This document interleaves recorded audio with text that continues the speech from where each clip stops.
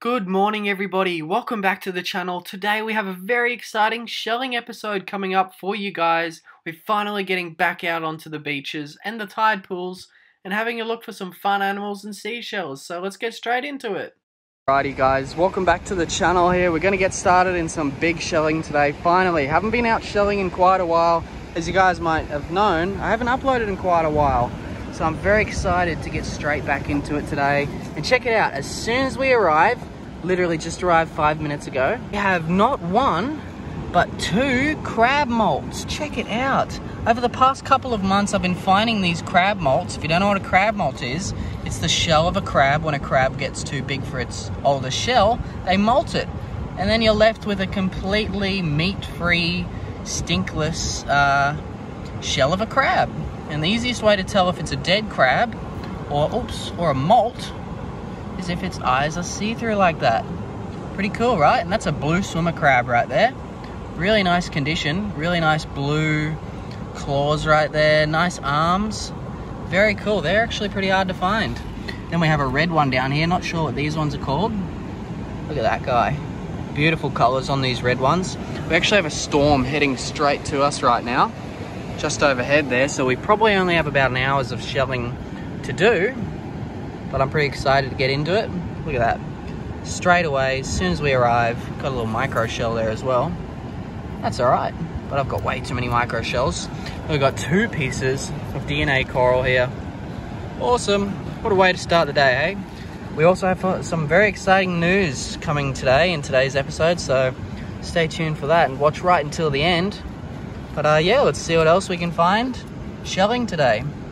Ew. Let's go, Mr. Krabs guys. I haven't seen blue like sea coral in such a long time. This one's only a small piece, but look at that.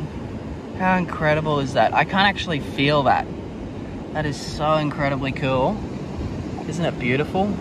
Just chilling out here in the tide pool really shows how healthy this whole little ecosystem around here is. Very cool. Wanted to show you guys that. This is my new shell case as well. Pretty cool. A lot of space in it, so hopefully we can fill it up today. Might have the first shell of the day down here, but I believe it's got a little crabby in it. Wow. That's a Erosa, eroded cowrie. It's got a little hermit crab, little Mr. Krabs in it. So he got to it first. Not gonna take him or, or his shell. That's his home and he got it first. So fair play, buddy. You got a very nice house there. Very cool. Haven't found too much yet. We're actually getting sprinkled on but uh, we should be fine, should pass. Got a warp and see Oh my goodness. Sorry buddy, he's inked on me. They do that when they feel threatened. It's not poisonous to humans, but it is to dogs. Wow, sorry about that, mate. I just wanted to show the camera you got, you. Or show you to the camera and all the people watching around the world. I mean, no harm to you, buddy. Just wanted to say g'day. Hey, you're a beautiful specimen, aren't you? Giant he is. Absolutely giant. All right, I'll put you back in with you, mate. Let me get a better grip on you. There you go, buddy. Have a good day. Wow, look how potent that ink is. Very cool. Straight back to his friends. Haven't seen one of those guys in quite a while. All right, let's see what else we can find.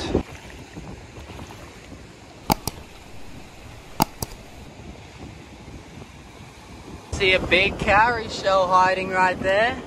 Oh, cool. Really hoping that's whole. Don't know if you guys can see it well. There you go.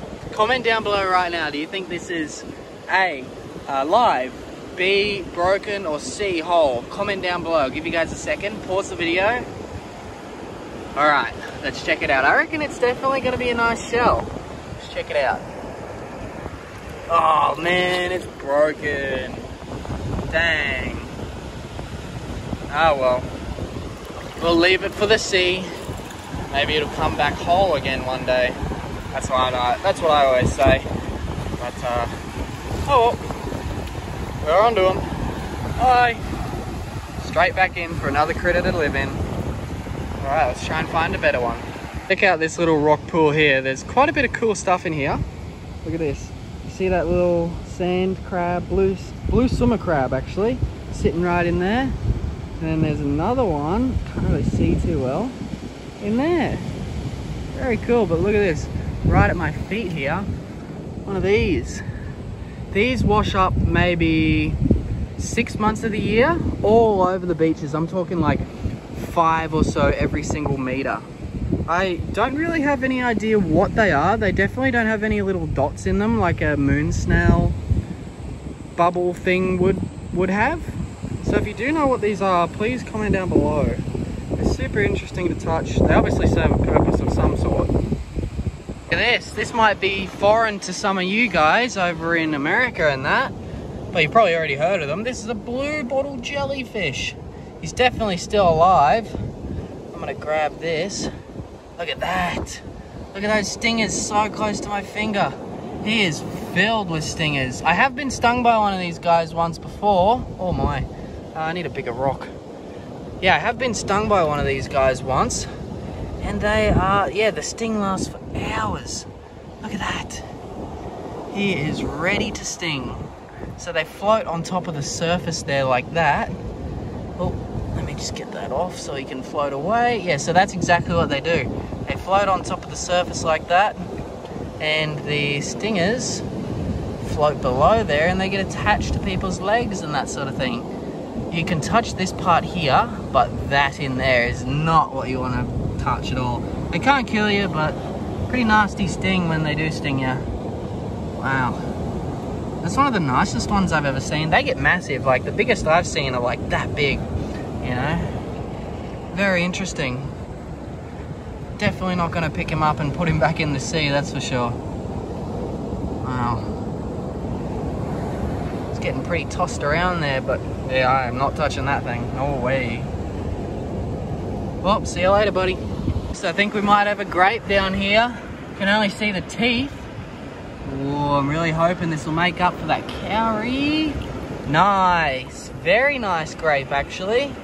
Look at that one. Beauty. Look, Petesy. Is that nice? Yeah, that's a score, mate. What do you think? Hey, you're on the rock. That's so nice. So the scientific name for this one is Cypraea staphylaea. Very cool. Beautiful spots on her. That definitely makes up for the broken Arabian. Alright, let's keep going down this stream here. This out here, guys, we have a sea hare just down there, and look at all the purple ink here. Something has for sure had a go at him. And that's actually what the purpose of them inking is. So they can make a quick getaway while the predator is all confused and scared and can't see through the ink. Isn't that incredible? So something big has had a go at it. But as I was looking at him further and around where he is, look at this. That right there is a type of Nicobar Triton, I believe. And it looks like a really decent size. Can't believe I managed to capture that. Look at all that purple ink. This would have happened minutes ago. Isn't that incredible? Hey, we even have another baby sea hare there. He would have saw what happened. It's incredible. But yeah, let's check out this Triton shell here. Oh, whoa! It's got a little Mr. Krabs in it. Hold on, life light coming. We have a couple really nice shells down here. Look at this. I think they're two Erosas. Oh, I'm hoping they're nice, but that looks really good there. Let's check that one out. Yeah, nice. Beautiful shell. How incredible is that? Second Erosa of the day. Well, the first one we we found it had a critter in it, so we let him go. Let's check this one out. Wow. That's even, oh yeah. We definitely know which one's the better one, I think. Wow, that's awesome. Two Erosas in the same little pool. Both actually with these other pieces of shell sticking out of the lip. How cool is that, hey? Cool. Awesome. We got rewarded, of course, for not taking that uh, live shell. We never take live shells, but we found two to replace it. How cool is that? Ew, Cypraea erosa. All right, let's see what else we can find. Close to the water here now, check it out. Do we have another crab molt? It looks like it. It's not gonna bite me. What is it? Yes, it is. It's another crab molt. How about that? Three for the day. Petrie, here. Petrie, what do you think? Is that nice? It's pretty cool, isn't it? You. Uh, yeah, he's got all four arms, two claws. Awesome. So the way I like to let these dry out is do not leave them in the sun. If you guys find them, don't leave them in the sun because they'll literally cook. There's no meat in them, but they will turn red. So if you do find one, just uh, yeah, leave it in the shade somewhere where there's a lot of wind and they'll dry out pretty quickly. Very cool. It's actually the exact same one as the, one of the first ones we found. Cool as. Alright, let's keep going down the beach. Sure I found a really giant nudibranch right here. See him? Look how well he blends in. Let's say g'day. Look at that. That's the underside of him. That's the top of him. Isn't that incredible? Wow. He's got his antennas there. Oh, hold on, buddy. Wow. Just hold him out there for a second so he didn't get dragged away. There you go, buddy. That thing is giant. Not sure what type that is. If you do know, comment down below. I've seen quite a few of them over the years. Very interesting, aren't they? Super grit-like feel on top of him. Very cool. There's his antennas there. Nice. Look at this fella here, eh? He's only got one claw. Oh, didn't see me, eh? I'm not gonna hurt you, buddy. Look at the size of him, though. Wouldn't want to get your finger in that, eh? Yes. Well, see you later. Very cool. So that's where the blue bottle jelly is that I just filmed. Look at this. Look at the condition of these ones here. Wow. So this is a snakehead here. There is a little Mr. Krabs inside there, but look at that condition. Wow, I haven't seen many cowries in a while, so this is exciting for me. That condition is just incredible. Look at that. But as you guys know, we don't take live shells, shells, so leave them be. Here's a blue cowrie, I believe. Very nice. Very cool. Nice, nice condition underneath. Leave him there. He's right next to Mr. Seahead there. And there's one, where is he? Just in there. Pretty cool. Can't believe that though. Look at that. He's still hanging around there. Alright, let's keep moving. Finding some cool stuff today.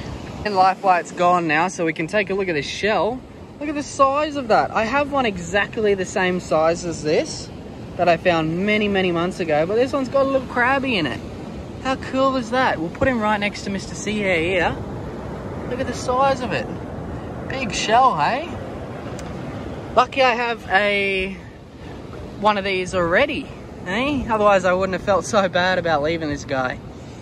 Oh well, he did find it first. That's always the rules. We don't take live shells at all. They deserve the shells just as much as we do. If not more, because they have to have them to live, so...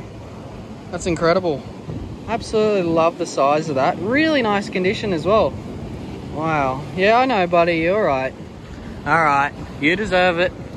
There you go. We'll put you right under there, eh? Awesome. What a cool encounter right around here. Still a little bit of that purple in the water. Ew. Love this stuff. So glad to be back out here. Looks like we've got a couple of really nice shells down here. Check it out. We've got two cowries there and then a special shell right over there. Let's check these ones out first. Wow, look at that. Those are really hard to find actually. We found a live one in Hervey Bay a few months ago in an episode and it was absolutely gem condition. Live one though, so we left it. But I already had one the exact same condition, so that's all right. Got a blue cowrie here, which is just pristine. Awesome. That's awesome as. Two nice cowries there. And a Gaia Triton? Yes, it is. Let me get in a bit more stable position here. Little Gaia Triton, it's a little bit broken, but they're hard to find sometimes. Look at that, eh? hey? Three nice little shells sitting in a little honey hole there. I was actually right next to the sea hare down there. Ew. Tickle, tickle, tickle. Got another big sea hare, sea hare down here. It's a beautiful fella. Hey, having some breakfast. How clear is the water today? Oh yeah, look at this thing. Step over Mr. Sea Hare. Watch this. This is, I'm not sure what this is called, but I've seen one of my friends touch one of these. Hopefully it's a good shot. Watch this. No, it's not the one. Different, different animal I was thinking of. One of those that look exactly like that. When you touch it, they close up really fast. Oh well, let's see what we can find. Found anything?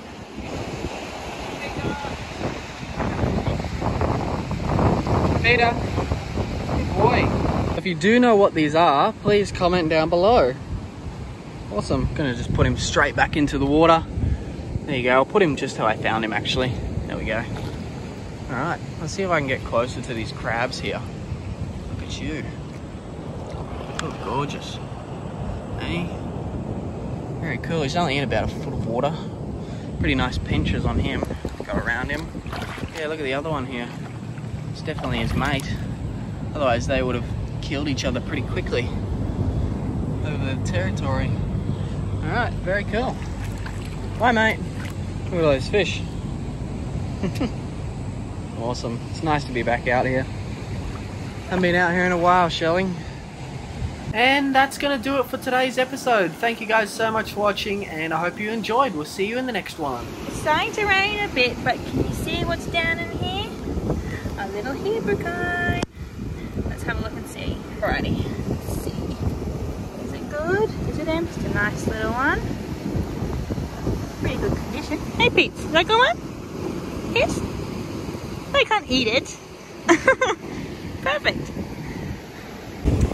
Petru's been searching around these rocks for about five minutes. He got stuck up there trying to hop down and he's been sniffing around. What can you see? What is it? What's it? What he's after. There's like fish or something in there that's been caught. What is it? He's using his little instincts to sniff it out. He's very intrigued. What is it? What you find? Silly boy.